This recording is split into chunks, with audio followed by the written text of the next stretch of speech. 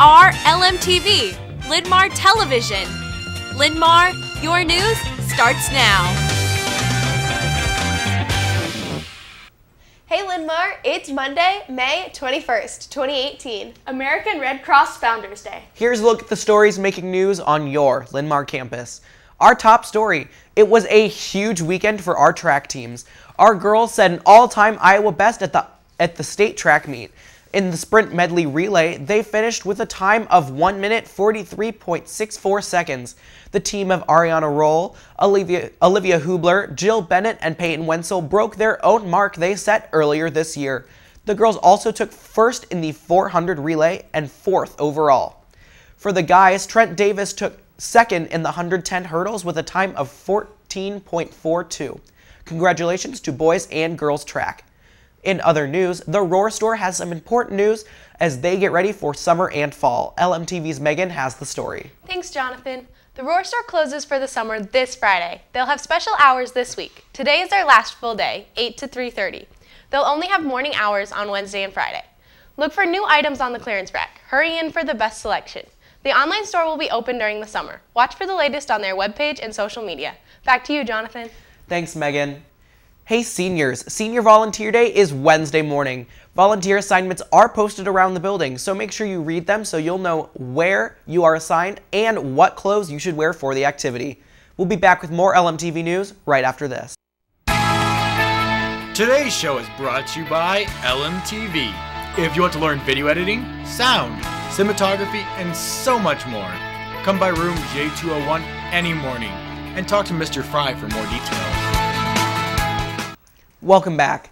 Volunteers are needed to help with the Wilkins 5th grade pig heart dissection. If you need if you are interested, please go see Mr. Meeker in room G141 today to find out more. Be sure you join the Senior Pride Walk in each elementary school. To register, go to tinyurl.com forward slash LM Senior Walk. Depending on the building, the Senior Pride Walk is May 24th or 25th. Now, Jenna's here with sports. On the scoreboard, boys tennis beat Pleasant Valley 5 to 1 in the state quarterfinal. They beat Bettendorf 5 to 1 in the sub-state final. Girls tennis came up short to Cedar Falls 5 to 1 in Class 2A regionals. Girls soccer lost to West Des Moines Valley 5 to 3. Conference honors are out for boys tennis. Luke Van Don Donslayer and Ben Hediger made first team. Zach Glantz and Lucas Huffman made second team. Luke Van Donslayer was named Athlete of the Year. Today in Linn-Mar Sports, varsity golf, girls golf is on their way to Muscatine for regional competition. It starts at 10. Boys varsity soccer faces North Scott in sub-state play at Muscatine. Team dismissed at 2.30. Varsity basketball takes part in the Metro Tourney at Wash at 5 o'clock. Team dismissed at 3.15. In other sports news, all girls going out for volleyball next fall come to a meeting Thursday morning at 7.45 in the lower commons. All girls interested in running cross country this fall should attend the meeting Wednesday morning at 7.45 in the lecture hall. Any seniors who still have athletic uniforms or equipment need to turn in those soon to the athletic office, or your senior sheet will not get signed. That's sports. Jonathan, back to you. Thanks, Jenna. In news from the counselors, seniors, you must have all of your signatures on your check sheet before graduation rehearsal Wednesday at 1 in the main gym. For more information on this story, stop by your counselor's office or check out their website. Now, Audrey is here with the arts and clubs. Thanks, Jonathan. On the arts and club scene, there will be a brief meeting for the magazine club tomorrow morning at 8 in Miss Turner's room, E135C. All FFA members, your banquet is tonight at 6.30 p.m. in the Pride Rock Commons. Official dress is required. Questions? See Miss Lemmer.